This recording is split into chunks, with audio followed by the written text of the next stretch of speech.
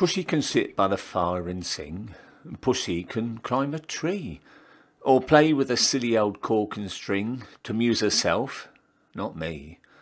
But I like Binky, my dog, because he knows how to behave. So Binky's the same as the first friend was, and I am the man in the cave. Pussy will play Man Friday till it's time to wet her paw, and make a walk on the window sill for the footprint Crusoe saw. Then she fluffles her tail and mews and scratches and won't attend.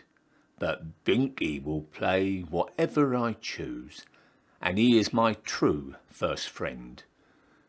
Pussy will rub my knees with her head, pretending she loves me hard.